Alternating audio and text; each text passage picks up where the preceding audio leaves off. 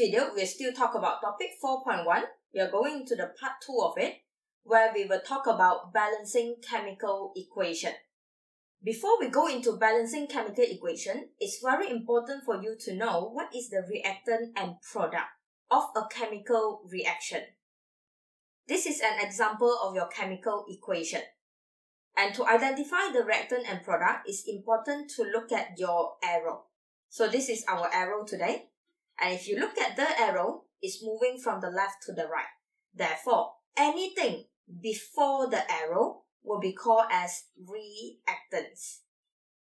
The reactants are those things that we use, those compound, molecule, atoms that we use for the reaction to happen. So, everything that stay after the arrow is what we call products.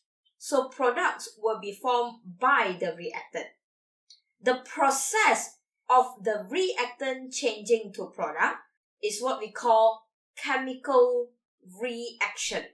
And when you write it out like this, that is what we call chemical equation. And our purpose of today's video is to write a balanced chemical equation. Let's look into how to balance a chemical equation. We have two methods inspection method and also ion electron method. And for this part of video, we'll focus only on inspection method. What is actually inspection method? We have four steps. Step 1, we need to identify the reactant and products and also their chemical formula. Second step, we need to write the unbalanced chemical equation first, knowing who is your reactant and also who is your products. And then the third step, we need to determine the number of atoms of each element on both sides of the equation. Last but not least, we will balance the equation by adjusting the coefficient only. And for today's video, we will focus on step 3 and step 4. Let's look into the first example. C2H4O2 and CO2 plus H2O. So this is your reactant. And who is your products? The products will be after the arrow. So your carbon dioxide and water will be your products. So we already identified the product and reactant. We have their chemical written. We already have the unbalanced equation given. So we'll focus only at step 3 and step 4. Determine the number of atoms of each element on both sides. We look at the reactant first. I have carbon, hydrogen, oxygen. Therefore, we need to work out the total number of carbon, the total number of hydrogen, and the total number of oxygen on the reactant. If you look at it, I have 2 carbon, hydrogen I have 4, oxygen I have 2. And on the product, write the number of atom of each element according to how you write on the reactant. So if I start with carbon, I will then start with carbon again, followed by hydrogen, followed by oxygen. If you look at your product, how many carbon do we have in your product? The total carbon that we have over here is 1. The total hydrogen that we have on the product is 2. The total oxygen that we have on the product is 3. So that is the number of atoms of each element for both sides. We need to balance the equation only by adjusting the coefficient. What is actually coefficient? The number that's sitting in front of your molecule. That is what we call coefficient. Alright, let's start. I have 2 carbon, 4 hydrogen, 2 oxygen. Which one should we balance first because none of them are balanced right now. Oxygen is standing alone on the reactant. And in the products, oxygen is present in both of the compound. Therefore, oxygen will be the last thing that we balance. Carbon on the reactant only exists in C2H4 and carbon on the product only exists in CO2. So we will try to balance the carbon first. I have two carbon over here. I only have one carbon over here. So we need two carbon on the product. Every single time when you put a coefficient, the number of atom changes. So we calculate the new total number of atom. Carbon, I have 2 right now. So we change the carbon to 2. Oxygen, I have 4 because 2 times 2. Oxygen on the water, I have 1. So 4 plus 1, oxygen will be 5. And hydrogen is not changing, so we will ignore first. Second, we solve the carbon. Hydrogen, we have 4 hydrogen on the reactant. I need 4 hydrogen on the product. But on the product, we only have 2 hydrogen right now. So, I need another 2. Hydrogen exists in water. So I have 2 hydrogen already. I need another 2. Therefore, I put 2 in front of the H2O. And hydrogen right now become 4 because you have 2 times 2. What about oxygen? Oxygen changes from 1 to 2. So the total oxygen that I have right now will be 4 plus 2. Total oxygen will be 6. And if you look at it right now, carbon is equals to 2, balance. Hydrogen equals to 4, balance. Oxygen is the only one that is not balanced.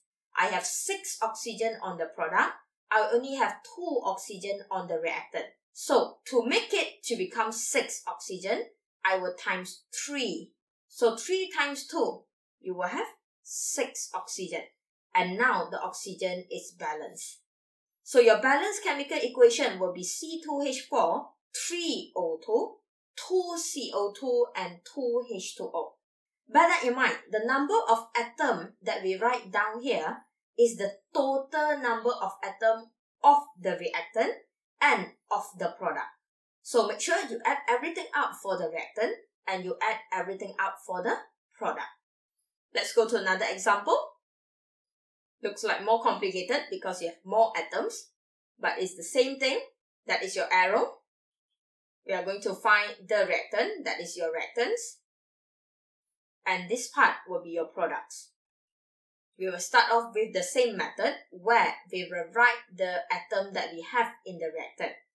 I have hydrogen, I have sulfur, I have oxygen. I have sodium. I have oxygen again. Do I still need to write? No, because we are going to total them up. So I only need to write oxygen once and hydrogen once. So on the product, we will have the same order of element. Hydrogen, sulfur, oxygen, sodium. And let's count on the reactant. So hydrogen on the reactant, how many hydrogen do we have? we have two hydrogen plus one more. So the total hydrogen that we have on the reactant right now is 3. Sulfur, we only have 1 sulfur. Oxygen, we have 4 oxygen plus 1 oxygen. So oxygen, we have 5 on the reactant. Sodium, we have 1 sodium. Let's check on the product. Hydrogen, how many hydrogen do we have? 2. That's it. We have two hydrogen. Sulfur, we have one. Oxygen, we have four plus one. Oxygen, we have five. Sodium, we have two. And that is the number of atom on the reactant and on the product. And how do we balance that? If you look at the things that everybody holding is oxygen. I have oxygen on H2SO4, I have oxygen on NaOH, I have oxygen on sodium sulfate. I have oxygen in water. Since everybody is holding oxygen, therefore oxygen will be the last thing that we balance. If you look at hydrogen, hydrogen also is in multiple compound. Hydrogen is in H2SO4, hydrogen is in NaOH, hydrogen is in water. Therefore, hydrogen will also be the last thing that we balance. And if you look at the question, sodium is only in NaOH on the reactant and sodium is only in Na2SO4 in the product. So we try to balance the sodium first. On the product, I have 2 Na. So in the reactant, I need 2 Na. So what do we do to make it 2? We put a coefficient 2. So 2 Na means my Na will change from 1 to 2. What happened to my oxygen and hydrogen? They are changing. So bear that in mind, in H2SO4, I have 4 oxygen right now. I have 2 oxygen in the NaOH because 2 times O. So the total oxygen that I have right now, 6. Hydrogen. I have 2 hydrogen in the H2SO4. I have another two hydrogen in the NaOH right now. So 2 plus 2, 4 hydrogen. And let's check the number of atoms that we have on the reactant and product. Reactant, 4 hydrogen. Product, 2 hydrogen, not balanced. Sulfur, 1 sulfur, 1 sulfur. Oxygen, 6 oxygen on the reactant, 5 oxygen on the product, not balanced. Sodium, 2 sodium on the reactant, 2 sodium on the product, balanced. So only hydrogen and oxygen are not balanced. And if you look at your product, your hydrogen and oxygen is the one that not enough. And if you look at your product in details, you realize that we have water that holding the hydrogen and oxygen. So we can try to balance by using water. I need four hydrogen over here. I have four hydrogen on the reactant, so I need to change from two to become four. And how to change that? Simply by putting a coefficient 2. So when you put a coefficient 2 on the water, your hydrogen will change. Your hydrogen will have 2 times 2. Your hydrogen right now is 4. Your oxygen will also be changing. So your oxygen will change from 2 times 1, 2. Over here, I have 4 oxygen. So 4 plus 2, 6. Because this is the total of the oxygen, bear that in mind. And if you compare them, hydrogen 4 on the reactant, hydrogen 4 on the product, sulfur remain balanced, oxygen 6 on the reactant, oxygen 6 on the product. Sodium remain balanced. And your chemical equation right now is balanced. Let's try another example. NO2H2O is your reactant. And then you have your HNO3 and NO as your product. So what is the first step? The first step is writing the type of element that we have. On the reactant, I have nitrogen, I have oxygen, I have hydrogen. On the product, put it in the same order. I have nitrogen, I have oxygen, I have hydrogen. So nitrogen on the reactant, I have one of them. Oxygen on the reactant, I have two plus one. I have three of them. Hydrogen, I have two in the water. So hydrogen, I have two. On the product, nitrogen, I have one in HNO3. I have another one in NO. So nitrogen, we are having two. Oxygen, we have three in the HNO3 and we have one on the NO. So oxygen, we have four. Hydrogen, we have only one in HNO3. And we try to balance that. Nitrogen is not balanced, oxygen is not balanced, hydrogen is not balanced. And how can we balance that? Oxygen exists in every compound. So oxygen will be the last element that we will try to balance. If you look at nitrogen, in the reactant, it only exists in one compound. Good. But in the product, it exists in both compounds. So nitrogen, we'll keep it aside first. In this case, we will try to balance hydrogen because hydrogen in the reactant only holding by the water, hydrogen in the product only holding by the HNO3. Try to balance that. I have two hydrogen on the reactant. I need two hydrogen on the product. So I will times 2. So when I times 2, what is changing? Hydrogen is changing. 2 times 1, I have 2 hydrogen. 2 times N, I have 2 nitrogen. 2 times 3, I will then have 6 oxygen. So we will try to change everything. Hydrogen right now is 2, 2 times 2. Nitrogen, 2 times 1, 2, plus with 1 over here. So nitrogen, we are having 3. Oxygen, 2 times 3, 6, plus 1, 7. And hydrogen right now is balanced, H2. But oxygen, nitrogen are not balanced. So look at who is having less number of atoms. Reactant having nitrogen 1, product having nitrogen 3. Reactant having oxygen 3, product having oxygen 7. So reactant are the one that having not enough atom right now. And if you look at the reactant, we have NO2 compound that holding nitrogen and oxygen. And how do we balance that? Look at the nitrogen. I need 3 nitrogen. Therefore, I need to put a coefficient 3. When you put a coefficient 3, 3 times 1 nitrogen become 3. So nitrogen changed to 3. Oxygen, 3 times 2. Oxygen right now become 6. 6 plus 1. Oxygen become 7. And we will try to check again your reactant and product. Reactant, nitrogen 3, product nitrogen 3. Reactant, oxygen 7, product oxygen 7. Reactant hydrogen 2, product hydrogen 2. And that is your balanced chemical equation. Next, we have more element right now, but it's still the same. We know that that is your reactant sites because of the arrow. That is your product. And what are we going to do? Same thing. Write out every single element that exists. I have Pb, I have nitrogen, oxygen, potassium, iodine. So same thing, we'll write them in the same order as the reactant in the product. So I'll start off with Pb, I will then have nitrogen, I will then have oxygen, potassium, and I. And what do we do next? We calculate the number of Pb exists in reactant. How many Pb do we have? 1. How many nitrogen do we have? 2 times 1. So we have 2. How many oxygen do we have? 2 times 3. So we have 6. Potassium, we have 1. I, we have 1. So on the product, your Pb, we have only 1. Your nitrogen, we have only 1. Your oxygen, we have 3. Your potassium, we have 1.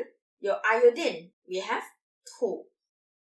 Slightly different in this question is, all the element only exist in one compound in the reactant and one compound in the product. So if you look at Pb, only exists in this compound. In the product, Pb only exists once. And same, only exists in the same reactant and only exist in the same product. Oxygen only in the same product. Potassium and iodine also only in the same product. So everything did not repeat. So which one do we balance first? Look at those that are not balanced. Nitrogen are not balanced. Oxygen are not balanced. Iodine is not balanced. So we try to balance those first. Nitrogen on my reactant, I have two nitrogen. On my product, I only have one. So what do we do? We need two nitrogen on the product. And nitrogen is in the KNO3. We will then put a coefficient 2 in here. And when you put a coefficient 2 in here, the only thing that change is not nitrogen. We'll be changing the potassium, nitrogen, and oxygen. So look at the potassium. Potassium will become 2. Nitrogen will also become 2. Oxygen, 2 times 3 will become 6. So let's change that. Potassium become 2. Nitrogen become 2. Oxygen become 6. And let's check that again. Pb 1 remain balanced. Nitrogen 2 now is balanced. Oxygen 6 now is balanced. Potassium 1, potassium 2. Iodine 1, iodine 2. Now only potassium and iodine is not balanced. So, in the reactant, we have a compound that only holding potassium and iodine. So what do we do? I need 2 potassium and 2 iodine. So we times 2. We put a 2 coefficient and your K will then become 2, your I will then become 2. And now if you look at the number of atom on the reactant and the number of atom on the product for each element, all of them are now balanced. Pb 1, nitrogen 2, oxygen 6, potassium 2, iodine 2. Done. Simple.